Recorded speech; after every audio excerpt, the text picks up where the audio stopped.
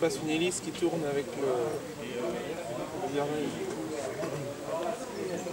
Une hélice qui tourne avec le gouvernail. Ah, une, une hélice, euh, ouais.